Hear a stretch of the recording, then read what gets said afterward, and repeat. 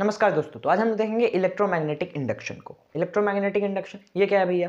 तो जैसा आपने थंबनेल में पढ़ा कि भैया, हमें इलेक्ट्रिक सर्किट में, हमें करंट चाहिए बिना किसी के इलेक्ट्रिसिटी हमें चाहिए बिना किसी बैटरी के। हम लोग क्या बिना बैटरी के इलेक्ट्रिसिटी प्रोड्यूस कर सकते, एकदम कर सकते हैं इलेक्ट्रिसिटी प्रोड्यूस हो सकता है बिना बैटरी के। कैसे? तो वो है इलेक्ट्रोमैग्नेटिक इंडक्शन हमें बताता है, ठीक है? इलेक्ट्रोमैग्नेटिक इंडक्शन बताता है कि तुम कैसे बिना बैटरी के क्या प्रोड्यूस कर सकते हो? इलेक्ट्रिसिटी बिना बैटरी के इलेक्ट्रिसिटी प्रोड्यूस कर सकते हो। तो भैया, ये क्लास टेन का टॉपिक है। अगर आप उससे कम के हो तो भी ये वीडियो देख लो। उसमें कोई प्रॉब्लम नहीं। ये वीडियो देखो। इसमें आपको समझ में तो आ ही जाएगा कि क्यों कैसे प्रोड्यूस होता है और क्यों प्रोड्यूस होता है, ठीक है? ये आपको समझ में आ जाएगा। लेकिन ये क्लास टेन में है। क्लास टेन का टॉपिक है। आप जब क्लास टेन में जाओगे, आपको इसके बारे में पूरी डिटेलिंग मिलेगी। इसके पहले भी कुछ टॉपिक्स मिलते हैं पढ़ने को। इलेक्ट्रिसिटी चैप्टर का ये टॉपिक है, ठीक है? तो पढ़ना चाहो तो अभी भी एनसीईआरटी का पीडीएफ डाउनलोड करो। और पढ़ लो। तो अभी देखते हैं। तो भैया देखो, अगर मान लो कोई कोयल एक ले लेते हैं, ठीक है, एक लूप ले लेते हैं। सपोज़ करो ये हमारे पास कोई कोयल है, ऐसा एक लूप है, ठीक है। इसको अच्छा से ड्रॉ करते हैं। सो ये हमारे पास कुछ ऐसे लूप है। समझ लो कि किसी से हमने बाँध दिया इस लूप को, किसी एक कार्डबोर्ड ऐसा था, उसके ऊपर ऐसे हमने लूप को रख दिया है, ठीक है।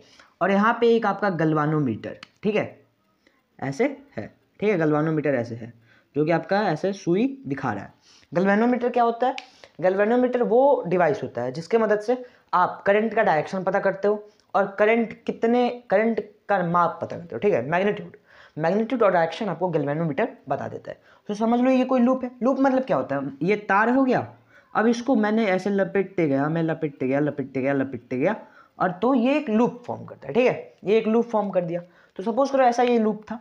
सो so, इसको लूप को मैंने किसी एक डब्बे से या फिर किसी एक कार्डबोर्ड से मैंने बाँध दिया है ऊपर ऐसे लूप स्टिक है ठीक है? ये मान लो ऐसे लूप है और यहाँ पे ये मेरा कार्डबोर्ड ये मेरा हाथ मेरा कार्डबोर्ड है और ये लूप है ऊपर जो कि सर्कल फॉर्म में होता है ठीक है? समझ में आ गया? कोई प्रॉब्लम नहीं। अब यहाँ पे एक मैग्नेट है। क्या है? एक मैग्नेट है ठीक है? ये है उसका नॉर्थ पोल और ये है उसका साउथ पोल कोई प्रॉब्लम कोई प्रॉब्लम नहीं। अब जब आप देखोगे जब आप मैग्नेट को मैग्नेट को पोल के पास सॉरी लूप के पास मैग्नेट को जब आप लोग लूप के पास लेके जाओगे क्या मैग्नेट को जब आप लूप के पास लेके जाओगे तो आपको देखने में आएगा कि गैल्वेनोमीटर की जो सुई है वो रिफ्लेक्ट कर रही है। क्या कर रही है? वो डिफ्लेक्ट कर रही है रिफ्लेक्ट नहीं डिफ्लेक्ट कर रही है। जो गैल्वेनोमीटर की सुई है वो डिफ्लेक्ट कर रही है। तो भैया गैल्वेनोमीटर क्या बताता है? करंट करंट बताता है करंट की दिशा बताता है और मैग्नीट्यूड बताता है। सो so, गैल्वेनोमीटर की सुई क्या कर रही है? डिफ्लेक्ट कर रही है। जब भी आप इस मैग इस मैग्नेट को इस लूप के पास ला रहे हो, ठीक है? ऐसे ला रहे हो, ठीक है? जब आप लूप मैग्नेट को ला रहे हो तो वो डिफ्लेक्ट करे अब मैग्नेट को वहीं पे सिर्फ़ पकड़ के रखा है, जैसे ये मेरा लूप रहा, और ये मान लो यहाँ पे मेरे पास कोई मैग्नेट है। ये डस्टर है, मेरा मैग्नेट, और ये मेरा लूप है, ठीक है? तो मैं जब भी इसको ऐसे ला रहा हूँ, तब या, तब तक ही गलवानोमीटर की सुई डिफ्लेक्ट करिए लेकिन ला के जैसे मैंने इसको ऐसे ही स्टिल छोड़ दिया यहाँ पे, गलवानोमीटर पे कोई फ़र्क नहीं पड़ेगा। जब मैं इसको पीछे की तरफ़ लेके जा रहा हूँ, तब भी गलवानोमीटर की सुई जो है, वो डिफ्लेक्ट करेगी, ठीक है? सो इससे आपको क्या पता चल रहा है? इससे आपको पता चल रहा है कि भैया मैग्नेट का जब भी मोशन होगा, ठीक है? मैग्नेट का जब भी मोशन होगा मैग्नेट को आगे पीछे मैं जब भी करूँगा, तब तब मैं देख रहा हूँ कि इस लूप में करंट इंड्यूस हो रहा है। तभी तो गैल्वेनोमीटर उसको देख रहा है, ठीक है? ये जो कार्डबोर्ड है, इससे मैंने तार को यहाँ पे कनेक्ट किया हुआ ताकि मैं करंट को माप सकूँ, ठीक है? सो जब भी मैं जो मैग्नेट है उसको आगे पीछे कर रहा हूँ तो मेरे लूप में करंट पैदा हो जा रहा है। करंट पैदा हो जा रहा है, इसका मतलब कि मैग्नेट को आगे पीछे करने की वजह से लूप में मेरा करंट पैदा होगा, ठीक है? ये तो मैग्नेट की बात रही। सपोज़ करते, अब कोयल को हम आगे पीछे करते। ये तो उस समय से मैग्नेट एक कोयल एक जगह पे था, ठीक है? लूप जो था, वो एक जगह पे था, इसको कोयल को लूप को, ये एक जगह पे था। कोई एक एक पॉइंट पे था और ये अपना बी पॉइंट से सी पॉइंट इधर उधर मूव कर रहा था। अब इसको किसी एक पॉइंट पे, हम लोग मैग्नेट को किसी एक पॉइंट पे रख देते हैं और जो ये कोयल है, इसको आगे, पीछे आगे, पीछे करते हैं, ठीक है? तब भी आप देख रहे हो, जब भी आप मैग्नेट को एक जगह रख के और कोयल को आगे पीछे आगे पीछे करोगे तो भी आप देखोगे कि उस केस में भी क्या हो रहा है, उस केस में भी इस गैल्वेनियोमीटर में आपकी जो उसकी सुई है, वो डिफ्लेक्ट करिए मतलब वो करंट को रीड कर रही है। वो डायरेक्शन उसका हमेशा चेंज भी हो रहा है, करंट को वो रीड भी कर रही ये क्या बताता है भैया? ये बताता है कि आप कोयल को अगर मूव करोगे, लूप को या फिर कोयल जो भी कहो इस चीज़ को, आप इसको जब आगे पीछे मूव करोगे और जब आप मैग्नेट को आगे पीछे मूव करो, किसी एक को आगे पीछे जब आप मूव करोगे तो आपका करंट पैदा होगा। अब ये क्यों होगा? करंट पैदा यहाँ पे क्यों हुआ? रीज़न तो यहाँ पे करंट इसलिए पैदा हुआ क्योंकि change in magnetic field magnetic field के चेंज की वजह से यहाँ पे जो है करंट आपका पैदा हुआ। ठीक है? मैग्नेटिक फ़ील्ड कि चेंज की वजह से यहाँ पे करंट इंड्यूस हुआ। अब ये मैग्नेटिक फ़ील्ड के चेंज की वजह से करंट कैसे इंड्यूस हो जाता है? एक एक्सपेरिमेंट आपने बहुत ही पहले पढ़ा होगा। कौन सी एक्सपेरिमेंट कि भैया, एक सर्किट है, उसके पास में जब आप कंपास लेके जाओगे, जिसमें एक सर्किट से करंट फ्लो कर रहा है और उसके पास जब आप कंपास लेके जाओगे तो कंपास की निडल डिफ्लेक्ट करती है।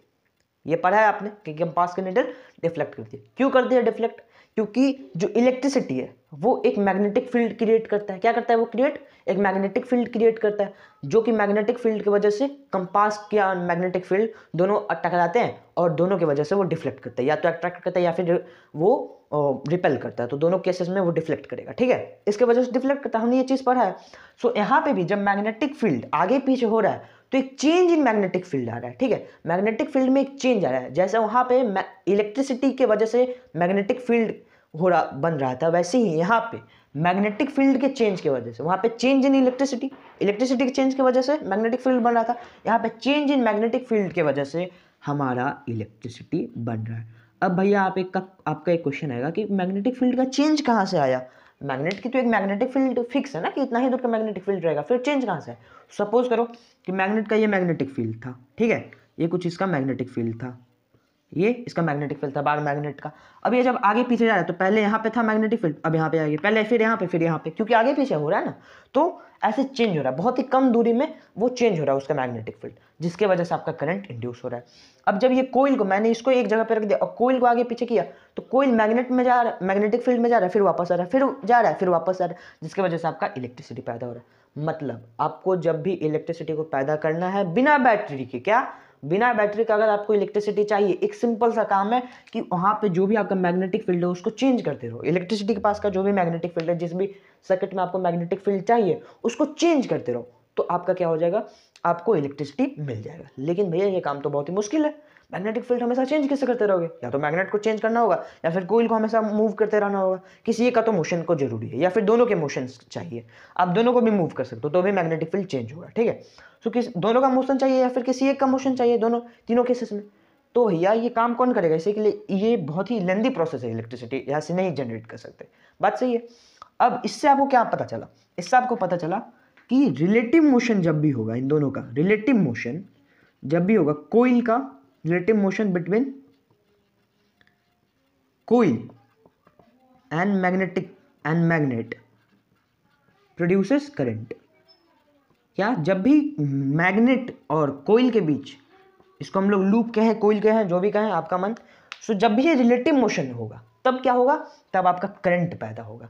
इसको हम लोग कहते हैं इंड्यूस करंट इसको कहते हैं इंड्यूस करंट क्यों कहते हैं? इसको भी डिस्कस करेंगे। तभी आपका क्या पैदा होगा? करंट पैदा होगा। अब इसी जो फिनोमिना को है, इसको हम लोग कहते हैं इलेक्ट्रोमैग्नेटिक इंडक्शन क्या कहते हैं इलेक्ट्रोमैग्नेटिक इंडक्शन इलेक्ट्रोमैग्नेटिक इंडक्शन इसको हो गया कि इसका अगर आपको एकदम डेफिनेशन चाहिए तो phenomena phenomenon in which current is induced current is induced in a circuit क्या? इस सर्किट में हमने करंट इंड्यूस किया।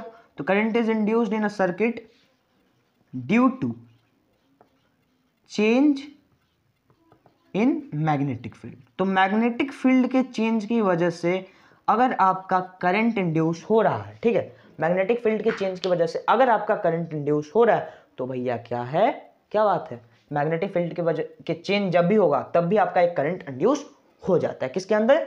जो भी आपका सर्किट है उसके अंदर। सो so, यहाँ पे जब भी रिलेटिव मोशन हो रहा है कोयल का या फिर मैग्नेट का तो वो क्या हो रहा है? वो आपका मैग्नेटिक वो आपका क्या कर रहा है? मैग्नेटिक फ़ील्ड को चेंज कर रहा है, जिसकी वजह से आपका करंट इंड्यूस हो रहा है। अब एक चीज़ सुनो, एक चीज़ और सुनो। आपके एन e में और एच वर्मा में दोनों साइड में ये शायद लिखी हुई है। आप सुनो कि जो डायरेक्शन है करंट का करंट का जो डायरेक्शन वो भी डिपेंडेंट है। किसके ऊपर? तो भैया इसके ऊपर मैग्नेटिक फ़ील्ड के ऊपर। ठीक है मैग्नेट को जब पास लाओगे ठीक है, जब मैग्नेट को तुम पास लाओगे तो जो करंट का डायरेक्शन होगा वो अलग होगा। और जब मैग्नेट को तुम दूर लेके जाओगे तो जब करंट का डायरेक्शन होगा, वो अलग होगा। तो भैया, ये जो डायरेक्शन का खेला है ना, ये मैग्नेट के ऊपर डिपेंडेंट है, ठीक है? मैग्नेट के पास लाने पे उसी का जैसा डायरेक्शन लगेगा, दूर ले जाने पे उसके डायरेक्शन चेंज हो जाएगा, ठीक है? सो इंक्रीज और डिक्रीज जब भी करोगे मैग्नेटिक फ़ील्ड को, क्योंकि दूर जा रहा है तो डिक्रीज हो रहा है ना मैग्नेटिक फ़ील्ड सो वो अपोजिट हो जाएगा करंट का डायरेक्शन और जब इंक्रीज करोगे, नज़दीक लाओगे तो वो सेम रहेगा। उसका डायरेक्शन ठीक है? सो ये कुछ चीज़ें और उसके बाद अगर पोल को भी तुम बदल दो, ठीक है? तुम पोल बदल दो। मान लो इधर साउथ ये नॉर्थ पोल था और ये साउथ पोल था। इसको मैंने कर दिया साउथ और इसको कर दिया मैंने नॉर्थ तो भी करंट का डायरेक्शन क्या होता है? बदल सकता है। तो भी करंट का डायरेक्शन क्या होता है? बदल सकता है। करंट का डायरेक्शन इन सारी चीज़ों से भी बदल सकता है। इसको और बहुत ही अच्छे से डिटेल में तुम क्लास टेन में पढ़ोगे। अभी के लिए समझ लो कि पोल के पोल को बदलने की वजह से, ठीक है? जब तुम पोल बदल दोगे तो करंट का डायरेक्शन बदल जाएगा। मैग्नेटिक फ़ील्ड इंक्रीज हो या फिर डिक्रीज होगा तो करंट का डायरेक्शन चेंज होगा। अब भैया, एक फ्लेमिंग भाई साहब थे, ठीक है? ये भी तुम्हें टेंथ में ही पढ़ना है। एक फ्लेमिंग भाई साहब थे। उन्होंने कहा हम कितने दिनों तक याद रखेंगे इस चीज़ को? हमें कुछ तो एक रूल पता करना होगा जिससे हमें ये पता चल सके कि जो ये करंट हमारा इंड्यूस हुआ है इसके अंदर। क्योंकि ये करंट तो ऑटोमेटिकली मान लो कि किसी बैटरी से आया नहीं है, इसको हमने इंड्यूस किया, इस मोशन की वजह से इंड्यूस हुआ, इसकी वजह से इसको इंड्यूस करंट कहते हैं। ठीक है? तो ये जो इंड्यूस करंट है, इसका डायरेक्शन हमें पता करना है भैया। हमें इसका डायरेक्शन पता करना है। हमेशा हम कैसे पता कर पाएँगे कि कौन सा डायरेक्शन किस डायरेक्शन में करंट का फ्लो कर रहा है? ये हमें पता करना है, कौन सा डायरेक्शन में कब करंट फ्लो कर रहा है। इसके वजह से फ्लेमिंग भाई साहब ने अपना एक रूल दिया, जिसको हम लोग कहते हैं फ्लेमिंग्स राइट हैंड रूल क्या कहते हैं फ्लेमिंग्स राइट हैंड रूल कौन सा रूल है? तो भैया, ये कुछ इस तरीके का रूल है। इस तरीके का रूल है, ठीक है? इस तरीके का ये रूल है। ये क्या कहता है कि भैया, अगर फ़ील्ड का डायरेक्शन ये हो, ठीक है? अगर फ़ील्ड का डायरेक्शन ये हो मैग्नेटिक फ़ील्ड का डायरेक्शन ये हो और मोशन इस डायरेक्शन में हो रहा हो तो करंट इस डायरेक्शन में होता है, ठीक है? करंट इस डायरेक्शन में होता है। इसका प्रूफ या फिर कुछ भी, वो हो सकता है तुम्हें हायर स्टैंडर्ड्स में मिले। अभी के लिए समझ लो कि अगर फ़ील्ड का डायरेक्शन ये है परपेंडिकुलर होना चाहिए सब। फ़ील्ड जो है, वो परपेंडिकुलर होना चाहिए करंट के, और जो मोशन है, वो परपेंडिकुलर होना चाहिए फ़ील्ड के, ठीक है? तो अगर फ़ील्ड का डायरेक्शन इस साइड में है तो फिर तुम्हारा जो, और मोशन का डायरेक्शन इस साइड में तो फिर तुम्हारा जो करंट है, वो इस साइड में आएगा। कैसे? देखते हैं। सपोज़ करो कि ये तुम्हारा एक नॉर्थ पोल है, ठीक है? ये तुम्हारा नॉर्थ पोल है और ये है तुम्हारा एक साउथ पोल क्या है? साउथ पोल कोई टेंशन कोई टेंशन नहीं है. और ये बीच में है तुम्हारा सर्किट ये तुम्हारा डायग्राम जो है, भैया मैं, मेरे से अच्छा से नहीं बन पाएगा. छोड़ दो इस डायग्राम को. डायग्राम जो है, तुम्हारे पास अगर H C Verma class ten की होगी तो उसमें ये डायग्राम अच्छे से दिया हुआ है इलेक्ट्रिसिटी चैप्टर में इलेक्ट्रोमैग्नेटिक इंडक्शन में. तुम डायग्राम को देख सकते हो. कि वहाँ पे क्या बता रहा है कि जब भी फ़ील्ड का डायरेक्शन इस साइड है मतलब नॉर्थ पोल मान लो इधर है नॉर्थ पोल इधर है और साउथ पोल इधर है. ठीक है? तो क्या होता है? मैग्नेटिक फ़ील्ड का डायरेक्शन क्या होता है? वो नॉर्थ से साउथ जाता है। सही है? वो नॉर्थ से साउथ जाता है। ये भी तुम क्लास टेन में पढ़ोगे कि मैग्नेटिक फ़ील्ड हमेशा नॉर्थ से साउथ जाता है। सो so, नॉर्थ से वो साउथ जाएगा। मतलब मैग्नेटिक फ़ील्ड की दिशा ये होगा। और अगर तुम्हारा जो मोशन है किस चीज़ का मोशन जो कोयल का मोशन है वो तुम ऊपर की तरफ़ लेके जा रहे हो ठीक है? जो कोयल को है वो तुम ऐसे ऊपर की तरफ़ लेके जा रहे हो। कोयल को ऐसे पकड़ लिया तुमने ऊपर की तरफ़ लेके जा रहे हो कोयल को ठीक है? ऊपर की तरफ़ तुम कोयल को लेके जा रहे हो। तो फिर उस केस में क्या होगा? फ़ील्ड का डायरेक्शन ये है। फ़ील्ड का डायरेक्शन ये है मोशन जिस कोयल का जो तुम मूव कर रहे हो, वो तुम्हारे ऊपर की तरफ़ है तो जो करंट तुम्हारा कोयल में बहेगा, वो इस साइड से बहेगा। क्या? इस साइड से तुम्हारा करंट बहेगा। समझ में आया? करंट इस साइड से बहेगा। वहीं अगर तुम, हमारा करंट का जो डायरेक्शन है, वो सेम है। कौन सा? ये वाला डायरेक्शन है, जो फ़ील्ड का तुम्हारा डायरेक्शन सॉरी करंट नहीं फ़ील्ड का जो डायरेक्शन है, वो तुम्हारा सेम है, लेकिन जो तुम्हारा मोशन है, वो तुम नीचे की तरफ़, तुमने अब ऊपर की तरफ़ नहीं खींचा, तुमने अब उसको नीचे की तरफ़ दबाने लगे तुम, ठीक है? तुम उसको नीचे की तरफ़ दबा रहे हो तो जो तुम्हारा मोशन है, वो तो नीचे की तरफ़ है फ़ील्ड का डायरेक्शन इस तरफ़ है, तुम्हारा जो करंट है, वो तुम्हारी तरफ़ होगा, क्या? करंट होगा, वो तुम्हारी तरफ़, देखो, तुम्हारी तरफ़ होगा, अभी बाहर नहीं निकलेगा, ठीक है? सो अगर फ़ील्ड का डायरेक्शन इधर है, और मोशन नीचे की तरफ़ है तो करंट तुम्हारी तरफ़, अगर फ़ील्ड का डायरेक्शन इधर है, और मोशन ऊपर की तरफ़ है तो करंट इस साइड ठीक है? इसको कहते हैं फ्लेमिंग्स राइट हैंड रूल ये वाला जी जो उंगली है, ये तुम्हें बताती है फ़ील्ड का डायरेक्शन ये वाला करंट का डायरेक्शन और ये वाला मोशन का डायरेक्शन किन्हीं दो का पता होना चाहिए तो तीसरे का हम पता लगा लेंगे. अगर तुम्हें फ़ील्ड पता है और करंट पता है तो तुम मोशन पता लगा लोगे. अगर तुम्हें मोशन पता है फ़ील्ड पता है तो तुम करंट पता लगा लोगे. या ऐसे किसी भी दो चीज़ का अगर तुम्हें पता है तो तुम बाकी तीसरे का तुम पता लगा लोगे. यही है भैया तुम्हारा इलेक्ट्रोमैग्नेटिक इंडक्शन जिससे कि तुम्हारा बिना बैटरी के करंट प्रोड्यूस होता है। कैसे प्रोड्यूस होता है? क्योंकि change in magnetic field so एक कोयल लो मतलब लूप बना लो, उसमें सर्किट बाँध लो, ठीक है? और फिर उसके पास एक मैग्नेट लो, और मैग्नेट को आगे, पीछे आगे पीछे आगे, पीछे करते जाओ, तुम्हारा उसमें करंट तुम्हें दिख जाएगा, ठीक है? करंट को नापने के लिए तुम्हारे पास एक गैल्वेनोमीटर भी होना चाहिए। सो ये फ्लेमिंग्स का राइट हैंड एक और चीज़ पढ़ लो भैया, जब यहाँ तक तुमने पढ़ लिया, एक और चीज़ पढ़ लो। कौन सी चीज़? सपोज़ करो ये एक निडिल है। ठीक है, ये मैंने एक निडल ले लिया। ये क्या है? निडल है। कोई एक जो कील होती है कील है। यहाँ पे मैंने इसमें एक क्या किया? एक रैप किया है। क्या? एक तार को मैंने ऊपर बाँध दिया है। और यहाँ पे भी एक तार बाँध दिया है। ठीक है? यहाँ पे भी एक तार बाँध दिया है, जिससे करंट क्या हो रहा है? फ्लो हो रहा है। यहाँ पे मान लो एक बैटरी है, जिससे कि करंट क्या हो रहा है? फ्लो हो रहा है। करंट इससे फ्लो हो रहा है। और यहाँ पे ये क्या है? यहाँ पे इसके ऊपर मैंने सेट कर दिया है गैल्वेनोमीटर ठीक है? जिसके कि कोई नीडल है और यहाँ से ये करंट फ्लो हो रहा है। ठीक है करंट फ्लो हो रहा है। इसको यहाँ पे मैंने सेट किया है। इसको यहाँ पे मैंने सेट कर दिया है। ठीक है? सो करंट क्या हो रहा है? करंट भैया आपका फ्लो हो रहा है। तो आपका किस, केस में क्या होगा? इस केस में कि जब आप स्विच को ऑन करोगे, ठीक है? अब यहाँ पे तो हमने स्विच दिया नहीं तो अभी करंट तो फ्लो करता ही रहेगा। सपोज़ करो यहाँ पे एक स्विच भी दे दिया हमने। ठीक है? ये प्लग प्लग की हमने यहाँ पे एक छोटा सा दे दिया इस डायग्राम को सही से बना दे दो भाई। सो ये रहा आपका कील और ये रहा आपका तार, जो भी आपका कोयल है। और ये आपका तार रहा। स्विच यहाँ पे हमने दे दिया। और ये जाके इससे अटैच्ड ठीक है? सो अगर आपका जैसे अभी देखो, अभी तो ये प्लग की है। प्लग की आप जब देखोगे उसका फ़ोटो देख लेना तो आपको समझ में आ जाएगा प्लग की कैसे काम करता है। सो ये जो प्लग की है, अभी तो मैंने इसमें प्लग डाला नहीं है। इसका मतलब करंट फ्लो कर नहीं रहा। ठीक है? करंट फ्लो कर नहीं रहा। मैंने क्या किया? इसमें एक प्लग डाल दिया। करंट क्या किया? करंट फ्लो करेगा। जब जैसे ही करंट फ्लो करेगा, ये जो गलवानोमीटर है, इससे जो है, यहाँ पे ये जो कोयल है, जिससे कि मैंने गलवानोमीटर को अटैच किया गलवानोमीटर थोड़ा सा डिफ्लेक्ट करेगी उसकी निडल क्या करेगी? थोड़ा सा डिफ्लेक्ट करेगी ठीक है? डिफ्लेक्ट करेगी चलो। अब जब मैंने करंट और जब ये, उसके बाद उसके बाद वो शांत हो जाएगी। उसके बाद वो शांत हो जाएगी। जब करंट मैं ऑन करूँगा, जब स्विच में ऑन करूँगा, तभी वो डिफ्लेक्ट करेगी उसके बाद वो शांत हो जाएगी, उसके बाद वो शांत हो जाएगी। जैसे मैंने करंट ऑफ़ कर दिया, मान लो मैंने यहाँ पे प्लग को हटा दिया। प्लग को मैंने हटा दिया। मैंने करंट को ऑफ़ कर दिया। तो भी वो थोड़ी सी डिफ्लेक्ट करेगी। क्या करेगी? तो भी वो थोड़ी सी डिफ्लेक्ट करेगी। जो उसकी यहाँ पे निडल है, वो भी थोड़ी सी डिफ्लेक्ट करेगी। अब ऐसा क्यों भाई? ऐसा कैसे? ये कैसे डिफ्लेक्ट कर रही है? तो देखो भैया, इस केस में हुआ क्या कि जैसे ही तुमने बैटरी से यहाँ पे करंट भेजा, ठीक है? इस वाले में करंट भेजा। तो मैंने तुमसे क्या पहले बोला था? कंपास वाले केस में एक एग्ज़ाम्पल तुम्हें दिया था कि जो करंट है, वो मैग्नेटिक फ़ील्ड प्रोड्यूस करता है। जो इलेक्ट्रिसिटी है, वो मैग्नेटिक फ़ील्ड प्रोड्यूस करता है। तो जैसे ही यहाँ से करंट गया, इसने एक मैग्नेटिक फ़ील्ड प्रोड्यूस किया। क्या किया? मैग्नेटिक फ़ील्ड प्रोड्यूस किया। करंट जो है एकदम से अपने हाई पॉइंट पे तो चला नहीं जाएगा। मान लो कि ज़ीरो टू फाइव एम्पियर का करंट था तो एकदम से जैसे ही तुमने स्विच ऑन किया, वो फाइव एम्पियर पे तो नहीं चल जाएगा। ज़ीरो से वन जाएगा, फिर टू जाएगा, फिर थ्री ऐसे करते करते वो फाइव जाएगा। सो इस केस में क्या हो रहा है?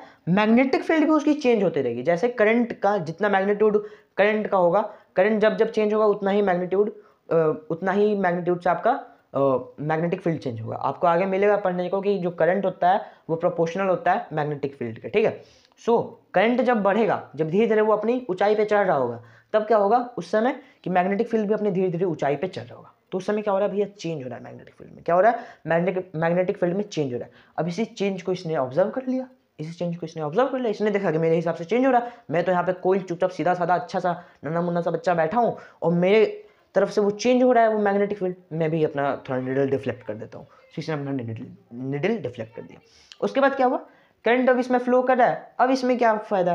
करंट तो चुपचाप फ्लो कर रहा है। अब इसमें थोड़ी ना कोई ये मैग्नेटिक फ़ील्ड चेंज हो रहा है। मैग्नेटिक फ़ील्ड जब शुरुआत में चेंज होना था, हो गया। अब उसके बाद से तो मैग्नेटिक फ़ील्ड चेंज हो नहीं रहा। तो निडल भी डिफ्लेक्ट कर नहीं रहा। जब तुमने इस स्विच को बंद किया तो फिर डायरेक्ट फाइव से वो ज़ीरो नहीं आ जाता। फाइव से फोर फिर थ्री फिर टू ऐसे करके वो ज़ीरो तक आता है। तो उस केस में भी मैग्नेटिक फ़ील्ड जो है वो चेंज किया।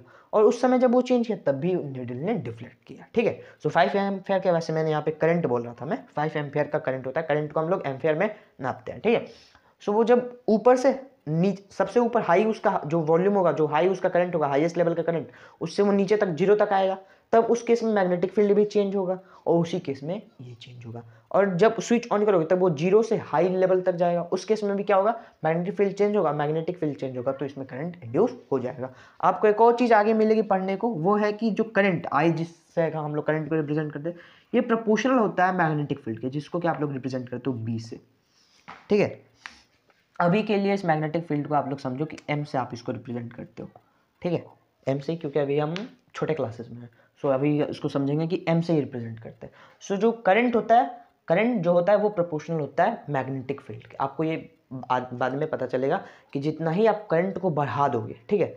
जितना ही आप पोटेंशियल डिफरेंस बढ़ा दोगे जितना ही आप करंट बढ़ा दोगे उतना ही क्या है? उतना ही आपका मैग्नेटिक फ़ील्ड बढ़ जाएगा ठीक है? उतना ही मैग्नेटिक फ़ील्ड बढ़ जाएगा। तो उम्मीद है आपको समझ में आया होगा कि हम लोग कैसे बिना बैटरी के करंट दे सकते हैं। कैसे बिना बैटरी के करंट देंगे? तो मैग्नेटिक फ़ील्ड चेंज कर देंगे करंट मिल जाएगा उसको। सो बिना बैटरी के करंट देना तो भैया मैग्नेटिक फ़ील्ड को चेंज होना पड़ेगा। सो उम्मीद है आपको समझ में आया होगा। अगर आपको लगा कि कुछ भी आपको इन्फॉर्मेटिव इस वीडियो से मिला हो सो प्लीज़ सब्सक्राइब कीजिए। मिलता है अगले वीडियो में, तब तक के लिए जय हिंद।